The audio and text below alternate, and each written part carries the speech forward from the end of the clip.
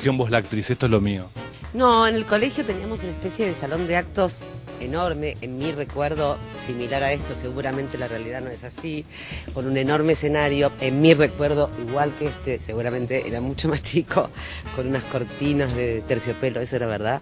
Y yo en realidad, en menos que, estar en el aula, estaba más arriba del escenario y preparaba las obras de, fin de curso y de, las fiestas, esas cosas que se hacían en, en, los colegios, que se siguen haciendo en los colegios, no los actos este, y no sé, dirigía, actuaba, escribía, cerraba el telón, abría el telón, cantaba, bailaba todo.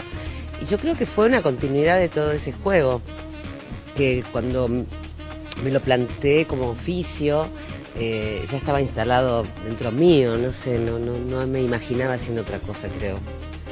Fuiste a España en el 76, ¿no? Ya seguiste en lo mismo. Sí, yo empecé a estudiar aquí en Buenos Aires eh, muy chica, a los 14, 15.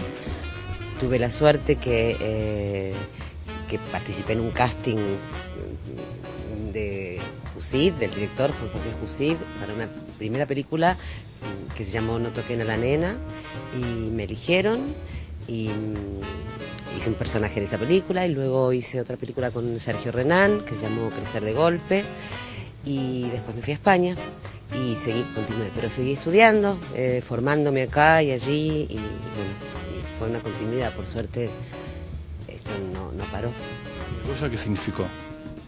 El Goya en España, eh, el primer Goya fue por eh, Martinache y creo que fue el, primer Goya que se le dio a una actriz no española, no nacida en España.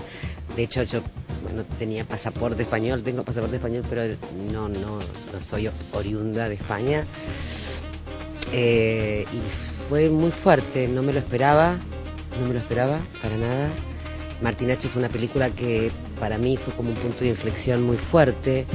Martinache de Adolfo Aristarain cambió muchas cosas internamente en mi vida y también en mi vida profesional, sin duda y ese Goya fue como una especie de, fresa arriba de un helado, qué sé yo. Fue, fue un regalo muy apreciado en su momento y ahora también ahí está en mi casa.